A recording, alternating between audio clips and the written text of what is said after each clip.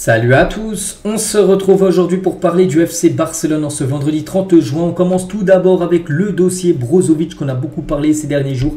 Et du coup, euh, Fabrizio Romano l'a confirmé que Brozovic du côté de Al Nasser, c'est parti en gros, here we go.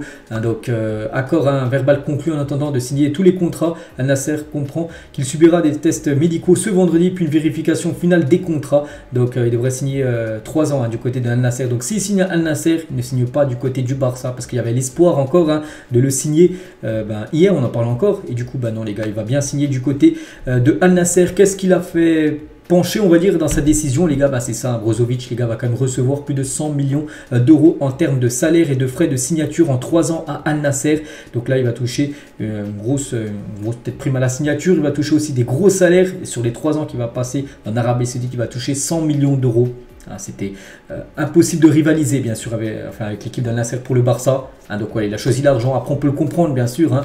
Euh, peut-être au Barça, sur 3 ans, euh, il va peut-être touché, je sais pas, peut-être 20 millions d'euros, ce qui reste bien sûr une, très belle somme. mais là-bas, c'est 100 millions. Donc, voilà, c'est pour ça qu'il choisit plutôt l'Arabie Saoudite que le FC Barcelone Brozovic. Donc, voilà, en clôture le dossier.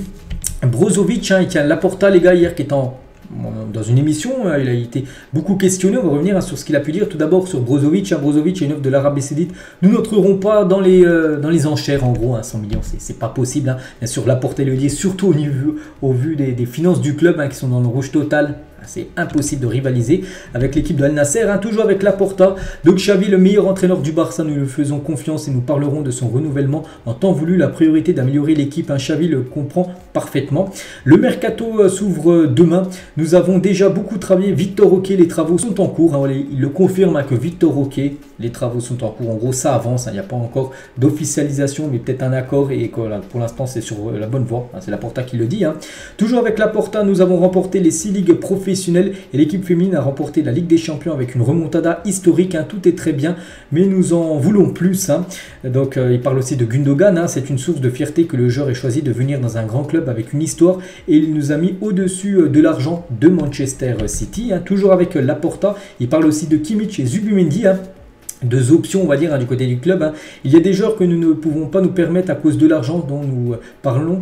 Oriol Romeu, qu'on va parler tiens, tout à l'heure, il y a un certain nombre de noms que le domaine sportif et Xavi aiment et nous devons euh, les laisser euh, travailler. Donc voilà, il dit rien sur Romeu, qui est une, option, hein, on va parler là. Donc pour l'instant, il peut rien dire, il veut pas que ça échoue, qu'il disait un truc qu'il fallait pas dire. Donc voilà, il dit que le, le club travaille, le Barça travaille par exemple sur ce profil de joueur. Nous regardons la Masia, nous avons de grands milieux de terrain là-bas. Regarde aussi les joueurs du centre de formation qui pourrait bien sûr peut-être venir aider hein, l'équipe première. Hein. L'anglais et Umtiti, euh, je pense que nous pourrons trouver un accord avec eux pour bien sûr qu'ils quittent hein, bien sûr euh, le club les conserver. Hein. Il parle aussi du Qatar. Le golf est devenu un grand marché. est ce que nous essayons de faire, c'est de trouver des opportunités commerciales pour le club. Hein.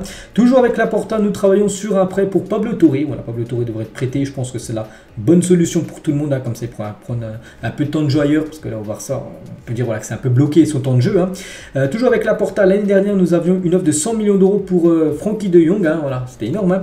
Et nous avons bien fait de ne pas le vendre. Il y a des joueurs qui ne devraient pas être sur le marché. Donc, euh, c'est 100 millions d'euros. Il aurait pu être vendu l'été dernier, De Jong. Mais voilà, on sait qu'il est resté au club. Il a bien fait parce que parce qu'il a été bon à cette saison, Frankie De Jong. Ce n'est pas vrai ce, ce que font a dit. Hein.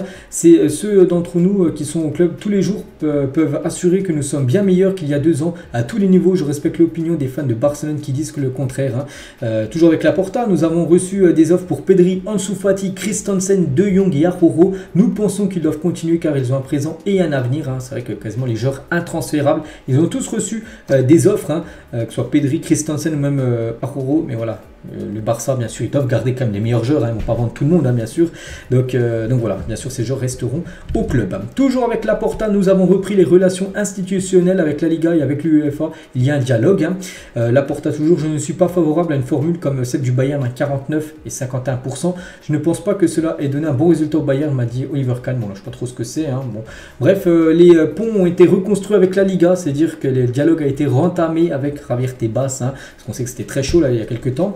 Il faut essayer de rétablir les relations euh, par euh, la concorde car le Barça ne peut pas être en conflit avec les institutions hein, telles que la Liga. Hein. Il parle aussi du Barça TV, hein, cette, cette, chaîne qui je crois qui est finie aujourd'hui.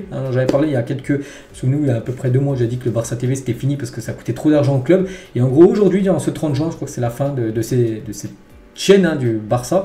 J'ai de bonnes nouvelles, hein. nous avons conclu un accord avec Telefonica à ce sujet. Il y a toujours de nouvelles de façon de communiquer, d'autant plus que nous essayons de renforcer le département numérique de notre club. Et voilà, cette chaîne va bien euh, se clôturer parce que c'est un gouffre financier. Hein. On sait que le Barça doit économiser un peu partout. Mais bon, il dit que maintenant, peut-être, euh, le club sera un peu plus présent, on va dire, par exemple, sur les réseaux sociaux. Ou là, bien sûr, pour le club, ça coûte quasiment rien du tout. Le financement obtenu par l'Espagne Barça plus de 1472 millions, donc 1 milliard 472 millions, sera restitué avec les revenus, supplémentaires obtenus. Les investisseurs font confiance au Barça et l'argent sera restitué. Donc, euh, donc voilà, tout ce qu'il a pu dire. Il a dit aussi pas mal d'autres déclarations, on va dire les plus importantes. Et il a parlé d'une sur le jeune Arda euh, Güler. Hein. et Laporta confirme que le Barça souhaite signer le jeune Arda Güler. Il a dit hein. aujourd'hui Deco euh, est en Turquie. Hein. Pour conclure l'affaire pour la saison prochaine, Arda Güler est un joueur talentueux et nous essayons de le signer. Donc voilà, grosse info les gars. Le jeune Arda Güler qui est pisté par beaucoup d'équipes. Hein. Il y a le Barça, il y a le Real, euh, il y a l'équipe de l'AC Milan, il y a aussi des, des, équipes anglaises hein, qui s'intéressent à lui. Ben, il le dit, le président du Barça, que le Barça va essayer de le recruter. Donc euh, voilà, ce jeune Arda Güler.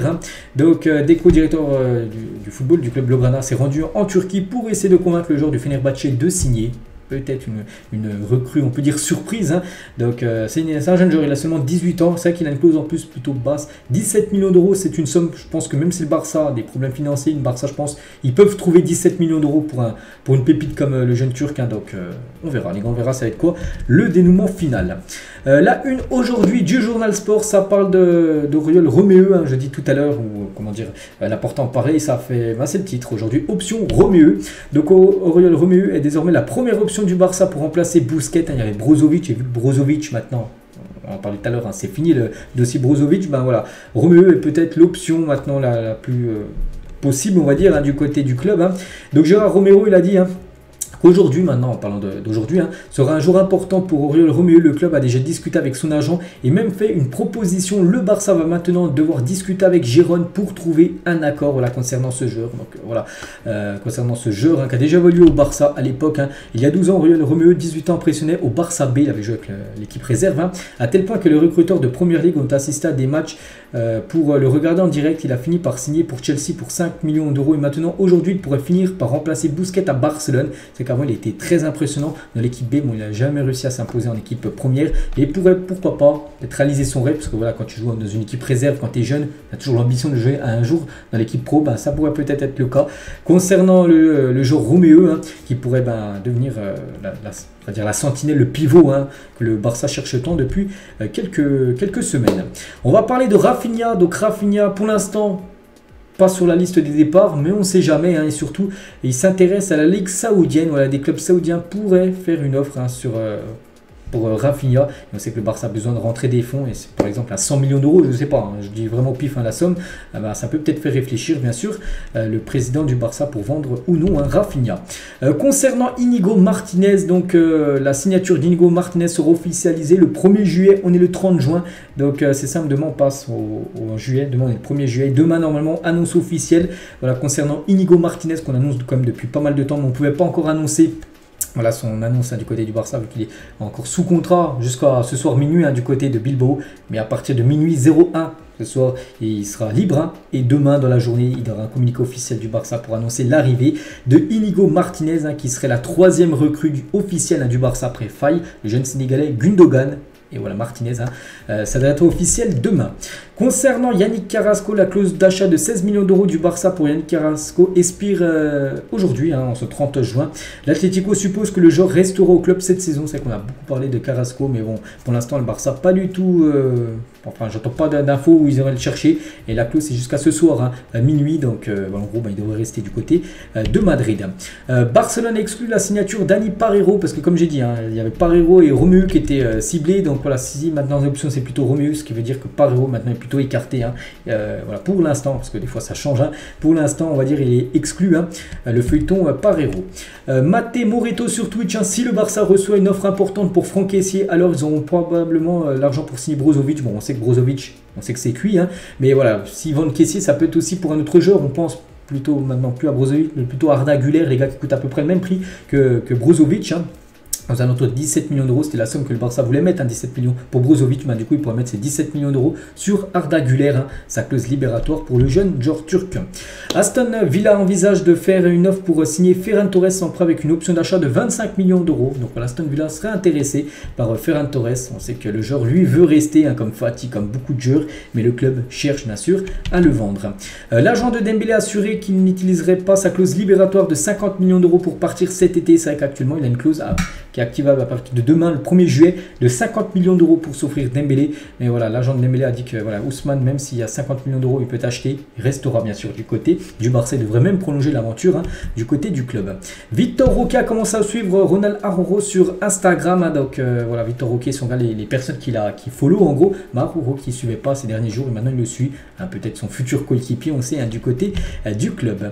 Le Barça explore des formules pour obtenir plus de revenus grâce à Barça Studio. Le club a vendu 49% à sociaux Hein. Et Orpheus, maintenant, ils envisagent d'impliquer des investisseurs supplémentaires, mais ces actions n'aideraient pas au fair play financier, parce qu'on sait que Barça cherche des, revenus un peu partout. Hein. Euh, donc voilà, c'est pour ça que Barça Studio peut être aussi hein, quelque chose bien sûr euh, qui peut rapporter de l'argent au club.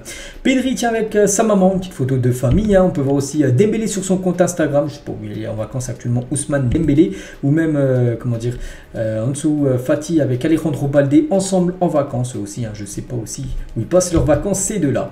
Alexia Putelas, les gars, tiens, dans l'équipe féminine, hein. débute pour l'Espagne contre le Panama ce soir, son premier titularisation depuis sa blessure au ligament croisé antérieur. Donc on en est content bien sûr hein, pour Alexia Putellas qu'elle retrouve déjà la compétition. Elle a repris avec le Barça et maintenant avec l'équipe euh, espagnole. Et on finit les gars avec l'équipe pour l'instant qui pourrait ça pourrait être ça la, saison prochaine le 11 pour l'instant avec les joueurs qui sont arrivés tout ça donc en gros c'est quasiment la même équipe que cette saison juste Gundogan hein, qui rentre dans le 11 hein. Gundogan a été recruté on le met au milieu de, terrain donc des postes je pense qu'il faut recruter défenseur droit on peut voir Jules Koundé Koundé n'a plus envie de jouer un défenseur droit il fallait chercher un défenseur droit et je vous donne un nom. Cancelo, même c'est compliqué en, prêt, pourquoi pas.